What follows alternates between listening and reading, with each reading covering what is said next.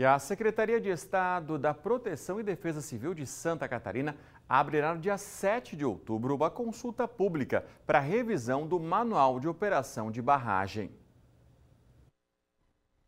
E a iniciativa, inédita no Estado, busca envolver a sociedade e especialistas no processo de atualização do documento, que foi revisado e ajustado para as necessidades atuais de gestão e operação das barragens de contenção de cheias. O período de consulta pública será de 7 de outubro a 8 de novembro.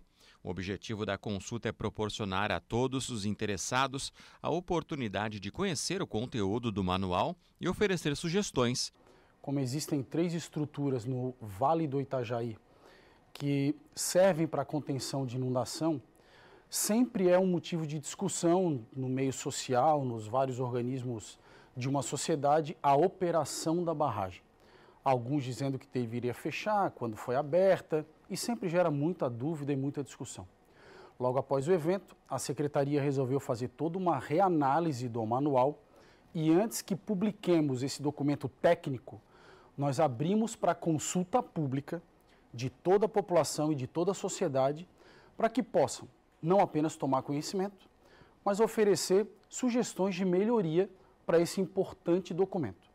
Com isso, o que a gente espera é que a sociedade tome conhecimento daquilo que baliza a secretaria na operação de uma barragem, que ela possa participar do processo de construção desse manual técnico e, sem dúvida nenhuma, a gente cumpre uma determinação do governador Jorginho Melo, dando transparência a tudo aquilo que a gente faz na gestão da Secretaria de Estado da Proteção e Defesa Civil. É importante destacar que a participação será exclusivamente técnica, garantindo que as contribuições se baseiam em fundamentos científicos e metodológicos.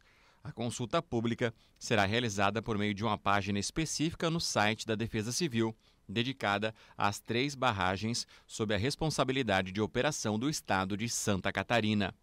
Através dessa página, os participantes poderão acessar o manual e preencher um formulário com suas considerações.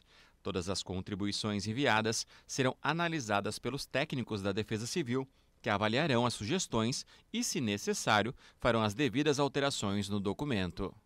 A importância principalmente é que a gente defina de uma vez por todas, o balizamento técnico de uma operação de barragem, diminuindo ou, se possível, evitando que haja qualquer tipo de discussão ou controvérsia na operação. O que a gente espera, muito mais do que apaziguar os ânimos, é dar transparência ao documento que norteia toda a operação de barragem executada pela Secretaria de Estado da Proteção e Defesa Civil.